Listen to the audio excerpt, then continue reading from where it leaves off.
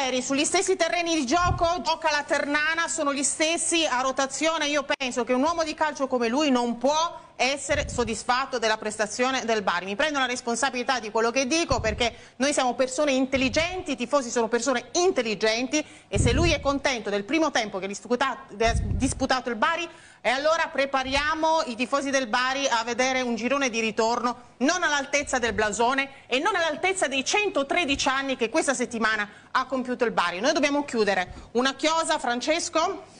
Sì, dichiarazioni mm, sicuramente che lasciano molto perplessi, sembra che noi vediamo una partita diversa da quello che vede il nostro allenatore. Che deve avere un po' più di rispetto nei confronti della piazza. Sì, è brutto.